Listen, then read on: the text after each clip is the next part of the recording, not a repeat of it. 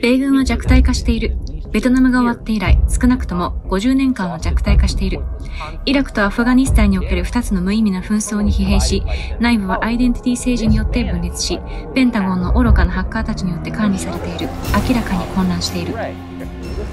入隊番号を確認してみてください。誰も軍隊に入りたがっていない。我々の軍隊に資金を提供している政府は破産している。それを率いる男は老いぼれだ。今は世界大戦を起こす時ではない。私たちは負ける。だが最高司令官は何も分かっていない。えー、今日はですね、まあ、ヒズボラが、まあ、攻撃を開始したという情報もあります。なぜバイデン政権はですね、この中東の国々を訪れても、まあ、あの、ソース感という表現をしましたけれども、かなり冷遇されているのか。えそして、中東を混乱に導くバイデン政権ということで、えーまあ、ここまで、えー、あった最近のことですね、え少し、振り返りつつ、まあ、お伝えしたいかなというふうに思っております。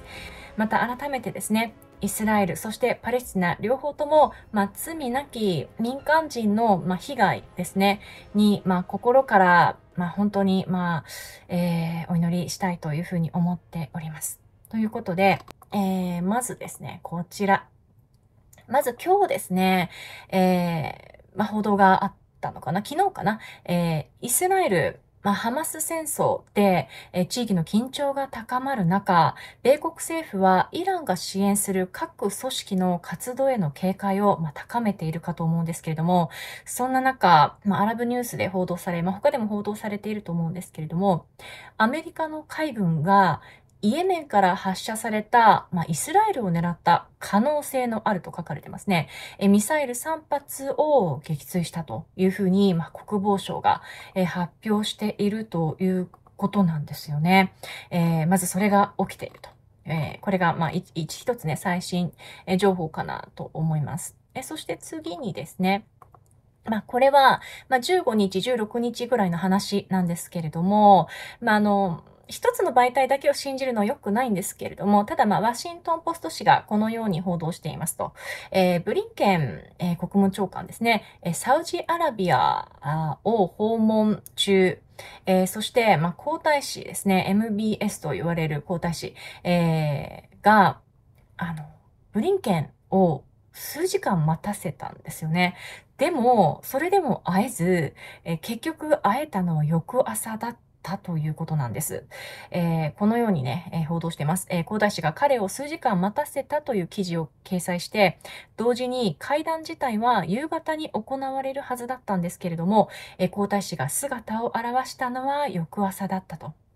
屈辱はそれだけでは終わらなかったと。会談が始まるや否や、皇太子はガザ包囲網と軍事作戦の中止を要求されたと、まあそういった情報がね、えー、出てきているんですよね。まあこれなんかはですね、まあ中東のおそらく専門の方々も、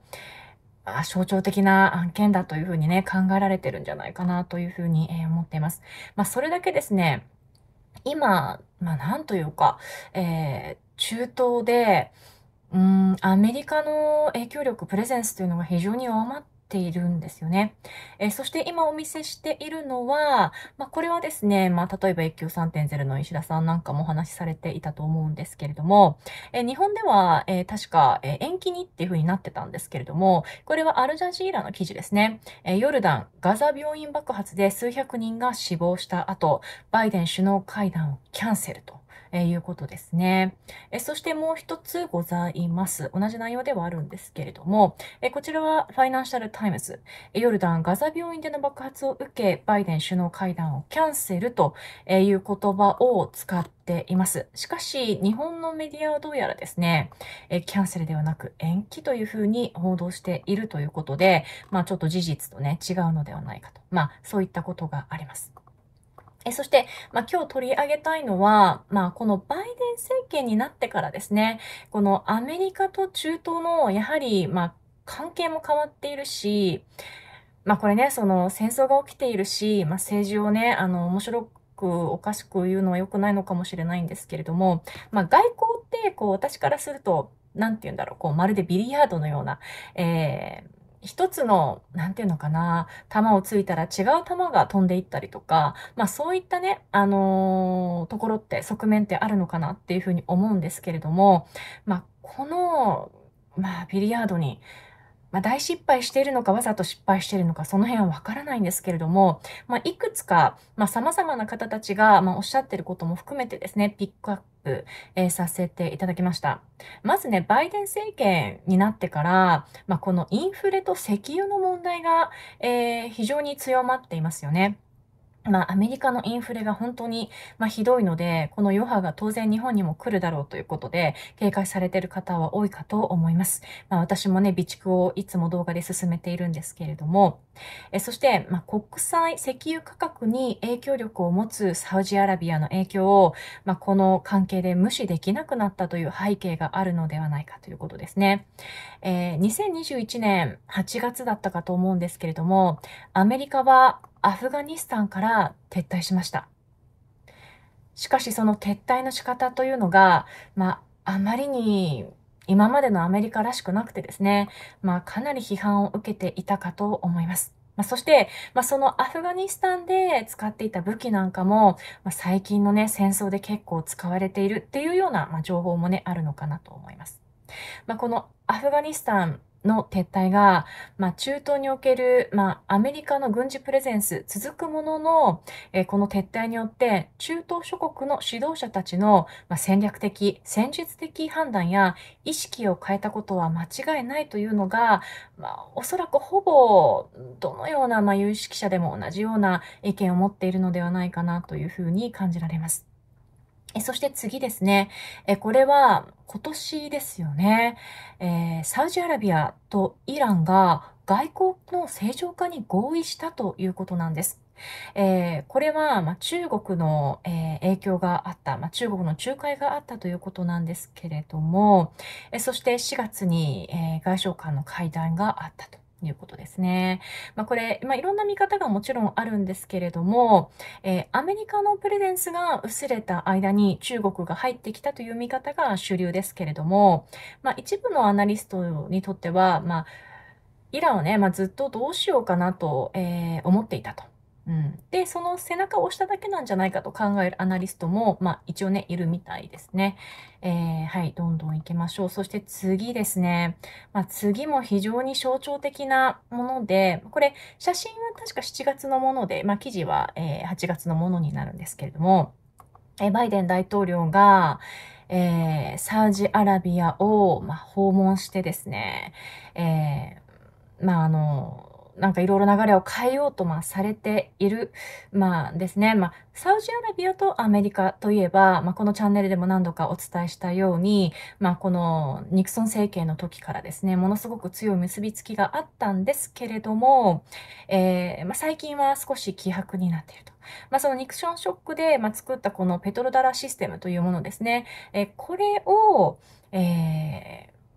ブリックスが、まあ、脅かしている。でも過去にはね、まあ、サダム・フセインだったりとか、カダビー大佐が、このペトロダラシステムに挑んで、まあ、暗殺されたなんていうこともよく言われていて、まあ、それは過去の動画にある通りなんですけれども、えこういう流れの中でですね、えー、今、まあ、今年になってバイデン政権は、まあ、サウジアラビアとの距離を詰めようとしている。で、その結果何が起きているかというと、ちょっとこれはですね、まあ、あの、一時情報を私の方でまだ確認できていなくて、まあ、あのまあ、私が尊敬する先生たちがね、あの、二人ほどおっしゃってたんで、まあ、間違いないかと思うんですけれども、まず、アメリカはサウジアラビアとの防衛防衛条約をね、えー、締結しようとしている。そしてサウジアラビアに対してどういう見返りをアメリカが逆に与えているのかっていうことを考えると、まず一つ目、えー、原子力の民生利用をサウジアラビアに認めようとしていると。これはどういうことかというと、えー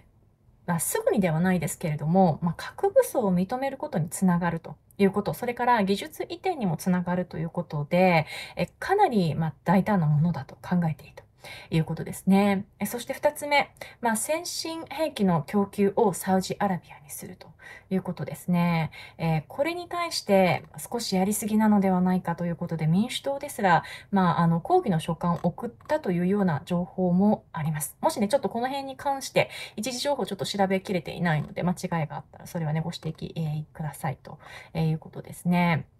まあ、そして、このグータッチが、え言われてるところで、これ握手ではないし、ハグもしていないんですよね。まあ、ちょっと中東でハグをする文化は、まあちょっとあれかもしれないけど、まあ、これに対してですね、えー、この方、うん、トランプ大統領が、元大統領が何とおっしゃってるかということですね。サウジアラビアとの現在の関係について、トランプ大統領はバイデン政権を厳しく非難しているということです。えー、そのまま読み上げます。サウジアラビアを見てみなさい。何が起きたかを。彼らは素晴らしい人々だ。アメリカを助けたいと思っていた。バイデンが訪問した。彼はグータッチをした。グータッチは、あなたの手は汚れているから握手しないでくれという意味だ。彼らは大きな屈辱を受けた。わかりますか？私はあなたと握手したくない。グータッチで行こうということなんです。えー、という言い方をしているということなんですよね。そして、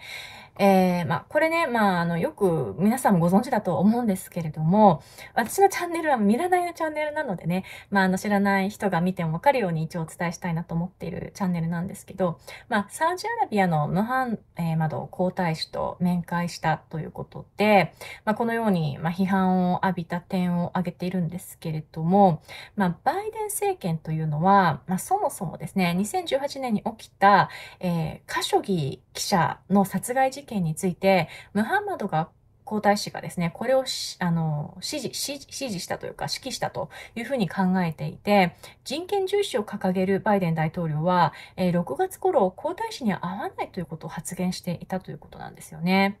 で、まあそういったことを結構指摘するメディアがものすごく多くてですね、えー、その上バイデン氏は以前サウジアラビアをのけ者として公然と、まあ、糾弾したことがあるということで、まあ当然ですね、これは、えームハマダを皇太子の耳にも入っていることなので、まあ、それでおそらく、まあ、このようなグータッチになったのではないかと、えー、いうことで、まあ、かなり、あの、冷静に見ている人も多いんじゃないかなというふうに、えー、思います。えそしてですね、えーこの、まあ、中東を語るにあたってですね、あの、私は勉強中なんですけれども、えー、勉強するにあたってですね、えー、どうしてもここまでのことを振り返る必要があるかなというふうに思います。中でもやっぱりね、この記憶に新しいのは、この右上にいらっしゃる、えー、方なんですね。この方の名前はソレイマニ司令官なんですけれども、まあ、ちょっとね、図が見づらいと思うので、この左の図がよく使われる図です。これは深夜派の子とか三日月と呼ばれるもので、ちなみに、この私深夜派の子っていうのはね、あの読めなくて、狐ってずっと読んでたんですね。だからもしかしたら今後の配信で間違ってまた読んでしまう可能性はあると思います。一度インプットされると間違えててしまうっていう。で、えー、この三日月ですね、あの、ここ最近起きているという、あの、起きていることですね。この構図のバランスを変えるもので、まあ、当然ですね、この中東で勢力圏を拡大させているイランを刺激するのは当然のことだというふうに思うんですよね。まあ、ここ数日お伝えしているように、まあ、私は他の人の言葉をあのお借りして伝えていると思うんですけれども、まあ、どうやらいろいろな人が指摘するには、ハマスという武装組織の背景には、背後には、まあ、イランがいるということは様々なエビデンスから、まあ、確実になってきていると思います。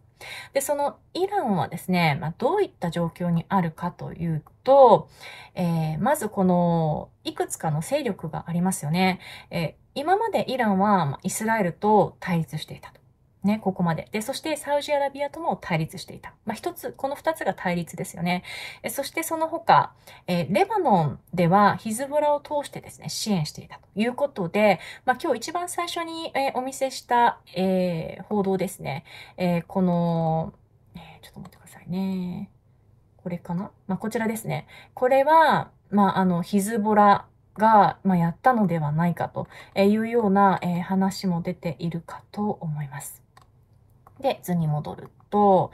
でそして、まあ、シリアではアサド政権ね、えー、を通して支援して、えー、イラク、シーア派政権に影響力があると。えそして、イエメンでは、えー、フーシ派を通して支援しているということなんですよね。まあ、こういった三日月がある中で、このバランス、特にサウジアラビアとの、まバランスを崩したということですよね。えサウジアラビアとイスラエルを急接近させたバイデン政権。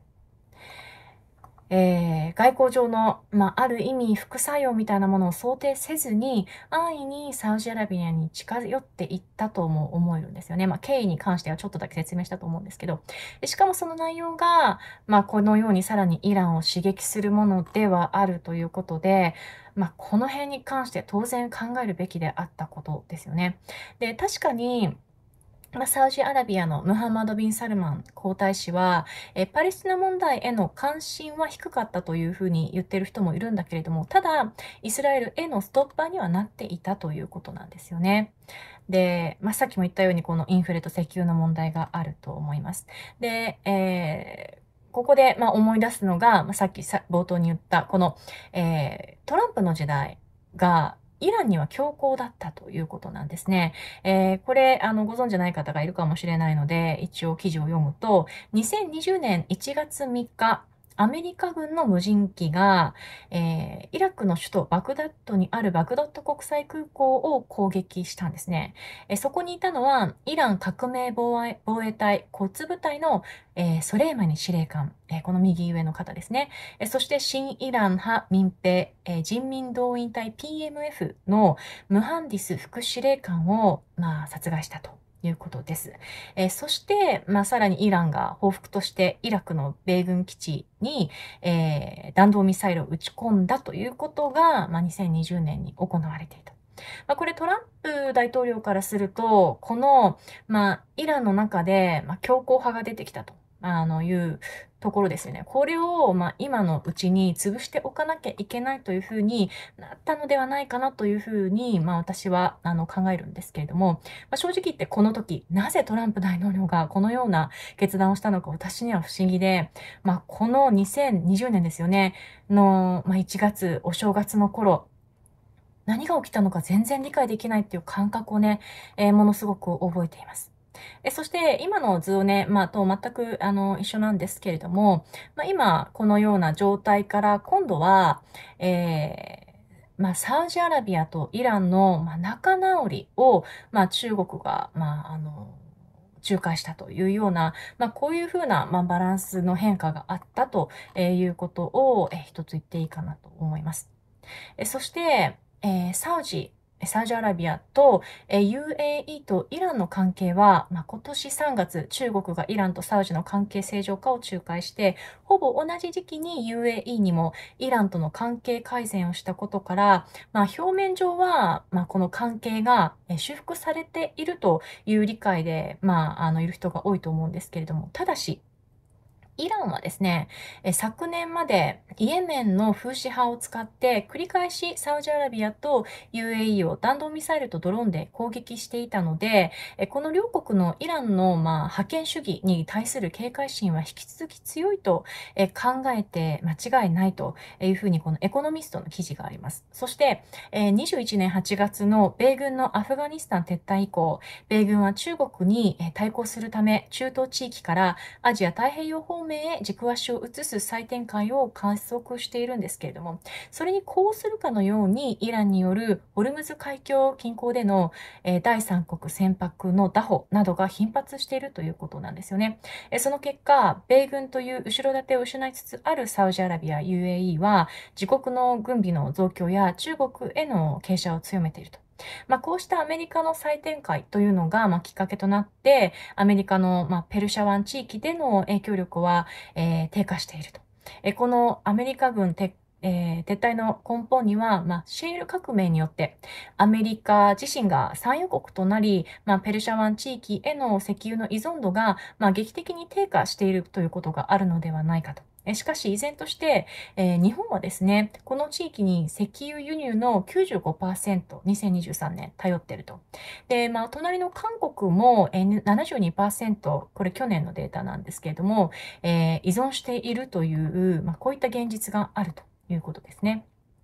そして、もう一点、えー、これは、あの、2019年のことなんですけれども、まあ、この、まあ、サウジ石油施設攻撃というのがあります。えー、今ね、この一つ前の図で、まあ、見せていたのは、えー、このサウジアラビアとイランの敵対というのがあったと思うんですけれども、えーこの図で、えー、ちょっと見ていただいてわかるかなと思うんですけれども、えー、2019年9月14日ですね、サウジアラビアの、えー、サウジアラムコの石油プラントを標的として行われたドローン攻撃というのがあります。で、これは、まあ、イエメンの風刺派による攻撃声明が出されたということなんですけれども、まあ、アメリカにとってみれば、この背後にいるのはイランだということですよね。だから、イランが直接サウジアラビアに、ま攻撃をするのではなくて、イエメンを使って、風刺を使って、サウジアラビアを攻撃したと。いうことですね。まあ、こういったことが、まあ、行われていたのは、まあ、事実なので、まあ、あの、いきなり、まあ、仲直りって言ってもですね、えー、どうなんだっていうこともあるということですね。そして、えー、これは本当にここ数日の話だったかと思うんですけれども、えー、イランが、まあ、スーダンと7年ぶりに外交正常化でということで、まあ、サウジアラビアとの国交回復に続きという、まあ、そういった記事も出ています。えー、いうことです。まあ、ということで、まあ、このエリアをやはり、まあ、語るにあたってですね、どうしてもこの、まあ、イランの、まあ、影響力というか、イランの、まあ、パワーというか、イランが、えーまあ、この辺を、まあ、勢力拡大してるっていう、まあ、そういった、えー、ことを、まあ、一つ、まあ、頭に入れてですね。えそして、まあ、ここ最近、ここ数年、バイデン政権がしたことというのは、やはりこのバランス、えー、これ私もちょっと、あの、聞いたんですけれども、やはりこのイランが、えを中心にですね、今非常に本当いい雰囲気になっていたんだけれども、それを、まあ、いきなり、まあ、今回のことでバランスがまた変わってしまったんじゃないかというふうな、まあ、あの考えもあるという。まあ、これだけ聞くとですね、まあ、このイラン一体、なんかどんな国なんだと。うん、なんか、イランもそんなね、まあ、あの、勢力を拡大して、あの、結構ひどい国なんじゃないかっていう、まあ、印象があるとは思うんですけれども、えー、イランにはアメリカとイギリス、特に CIA と MI6 の関係で、かなり長い間、なんていうのかな、まあ、クーデターが起きたりとか、政権転覆されたりとか、まあ、自分たちはこのエネルギーを持っているのに、えこのエネルギーによって国が豊かにならない、そういった状況。で、それを良くしようとすればするほど、まあ、軍事クーデターとか政権転覆が起こると、まあ、そういったね、あの、かなり、あの、長い歴史があるので、まあ、今後ですね、おそらく、えー、日本は西側の情報が強いと思うと、まあ、アメリカとイランは敵対関係にあるので、イランに対する、まあ、悪いプラパガンダみたいなのが聞こえてくると思うんですね。え決してそのテロとか、まあ、そういったことを肯定することは私はないけれども、ただ冷静に判断するにあたって、まあ、イランとアメリカの長い歴史というのも、えー、私たちはね、あの、本当に冷静に考える必要があるのかなというふうに、えー、思ってております。えー、この、まあ、イランのね、話っていうのは、私もこれ本を読んで、えー、勉強して、すごく衝撃的で、えー、いつかまたね、この古い歴史の話っていうのは、あの、動画にできたらな、というふうには思っております。えということで、まあ、今日はですね、えこの、まあ、今起きてることに対するですね、まあ、このバイデン政権の、うーん、まあ、やり方のに対する非難ですね。まあ、タッカー・カールソンの言葉を冒頭でお伝えしましたが、まあ、日本は当然ですね、まあ、イランとも独自のあのパイプを持っているので、え独自の外交をすべきだし、まあ、あの、私も含めてなんですけれども、まあ、今の時点で、あの、やっぱりもうちょっと冷静にいろんなことを考える必要があるなというふうに考えています。ということで、え最後にえお知らせです。おそらくだいたい夜の8時くらいから、また前回出ていただいた、まクリスチャントゥデイに記事を書かれている山崎さんがえ出てくださって、ま今日のイランの話につながるところなんですけど、なんでトランプ政権は、えー、このうん。まあ、この時にはイランを潰したりとかイスラエルとのつながりが強かったりとかするのかっていうこと、まあ、これは、えー、トランプさんの、まあ、票がですねやっぱり福音派だっていうことに非常にあの理由があるんじゃないか、まあ、そういったお話を、えー、8時からあのお伝えしたいというふうに思っています。そして、えー日曜日ですね、10月22日、えー、8時からは、まあ、この戦争の話とは違うんですけど、まあ、情報戦争ですよね。情報戦争という意味で非常に大事な、えー、医療ジャーナリスト、鳥溜徹さんに来ていただいて、まあ、このメディアのね、まあ、欺瞞についていろいろ、お話を伺って、まあ、YouTube でできない部分、えー、コロナ利権の真実の、まあ、詳細ですね。えー、これについては、えー、ニコニコの、えー、中でお話、えー、したいというふうに、えー、思います。えそして、その後ですね、11月7日の8時、えー、元自衛隊のですね、矢野先生にお越しいただく予定でおります。えそして、まあ、昨日もお伝えしましたが、私のチャンネルのうちの一つが、チャンネルごと丸ごと、えー、バンされました。ということで、えぜひですね、あの、他のチャンネルもご登録いただければと思います。メインチャンネルで発信できないときは、セカンドチャンネルもしくは他のチャンネルで配信する予定で、えー、いつもおります。えー、メインチャンネルが使えなくてですね、まあ、苦い思いをして3ヶ月ぐらい配信できなかったこともあるので、ぜひお願い、えー、します。えそして、11 1月4日ですね、お話会を開催する予定ですので、えぜひですね、えー、参加される方は、えー、申し込みをお願いいたします。それでは長くなりましたが、え今日はこの辺にしたいと思います。えちょっとチャット欄が今見れてないんですけれども、たくさんいつもコメントとありがとうございます。いつもご視聴いただきありがとうございます。チャンネル登録、通知設定、えこの動画が少しでもためになった、見習い中のリズィを応援してくださる方は、ぜひ高評価ボタンをよろしくお願いいたします。それではまた、え明日の夜8時にお会いしましょう。リジーでした。